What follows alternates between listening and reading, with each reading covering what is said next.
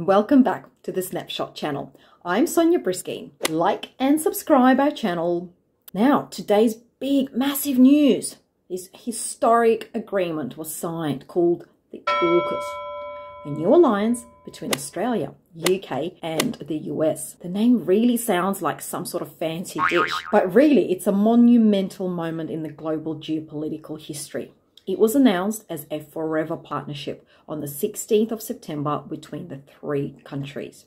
And in response to most partnerships of this nature, there are quite a few unhappy countries, namely China and France, with some calling it China's worst nightmare. Why is that? Firstly, make sure you subscribe to our channel. But let's move on. So far, Australia has a few alliances. The ANZUS, which is an alliance between Australia, New Zealand and the US, celebrates its 17th birthday last month.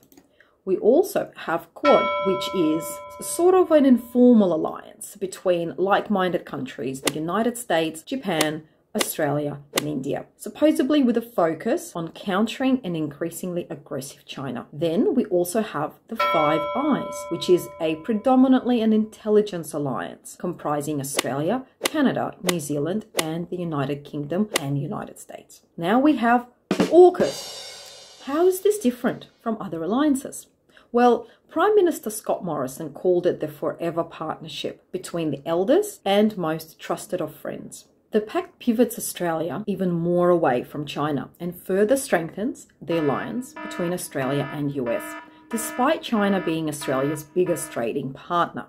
Some say this might not be a good idea in financial terms, but other analysts say in the face of China's increasing economic bullying and coercion towards Australia, such as raising tariffs and stopping imports of Australian products, Australia was left with no choice but to strengthen and formalize alliances with other countries of the free world. This pact will enable Australia gain access to top secret nuclear powered submarine technology to build a new submarine fleet in Adelaide. The alliance will allow the three governments to share information and technology, including defense related science, technology, industrial bases, and supply chains. AUKUS will also mean further collaboration on cyber capabilities, artificial intelligence, quantum technologies, and additional undersea capabilities. But don't worry, Scott Morrison reassures everyone that Australia is not getting involved in nuclear weapons. Phew, this is about nuclear powered submarines. Good news. Australia will not pursue nuclear weapons or a civil nuclear capability, and the submarines will not be armed with nuclear weapons. An alliance like this has never been done before. The last one was between US and the UK almost 70 years ago. Not everyone's happy. Of course, China is furious. Of course, no one mentioned the C word when the alliance was announced. The spokespersons of each country tried their best to emphasize it was not directed at any country in particular. But it was quite obvious this alliance was formed to counter China's influence in the Indo-Pacific. Here's what Morrison said.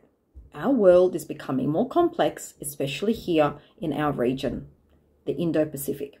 This affects us all. I can hear China here.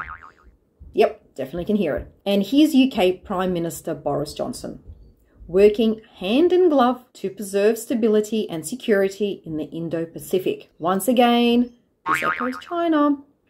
And US President Joe Biden said, there's most modern capabilities we need to maneuver and defend against rapidly evolving threats. Hmm, threats?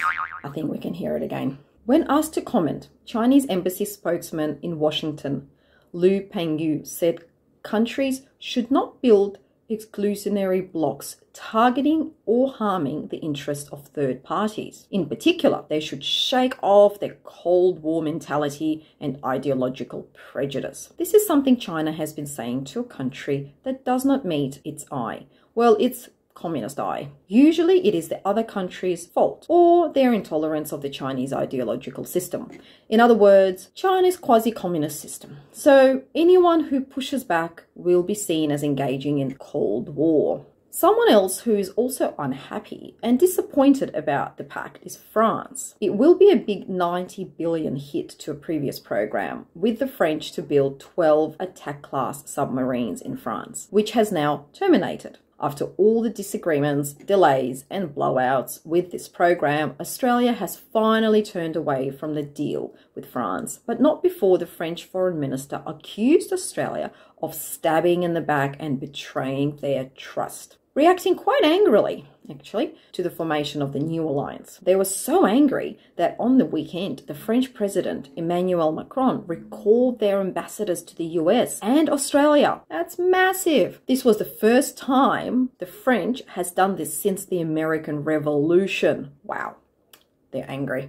You're probably wondering, what are nuclear powered submarines anyway? These are submarines powered by onboard nuclear reactors. The Australian Government and Defence Force have insisted the submarines will be nuclear powered and never nuclear armed. Compared to diesel powered submarines, which was the kind that Australia was going to get with the previous French agreement, Nuclear powered submarines are built for endurance. With abundant power, some builds can run almost indefinitely. The downside, however, is that they are larger and can't move into shallow waters, therefore making it more detectable. Now, notably, missing from the alliance is Canada and New Zealand, the other two partners in the intelligence sharing alliance, Five Eyes.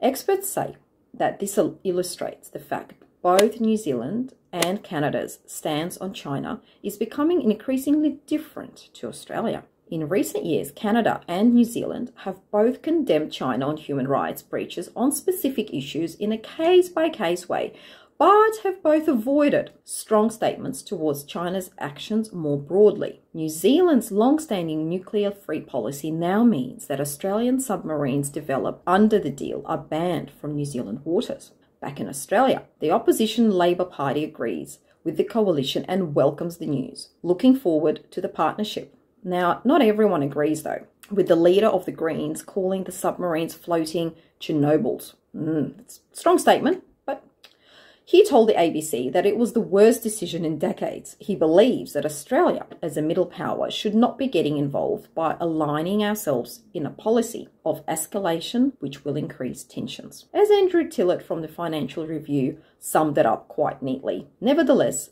Australia's decision to embrace nuclear powered submarines represents a failure on Xi Jinping's part. The bellicose tone from wolf warrior diplomats and state run media, the unashamed militarization of the South China Sea, the weaponization of trade, the hostage diplomacy behind the arrest of Cheng Lei and Yang Hengjun have served only to stiffen Australian spines. And to finish up, here's something quite hilarious.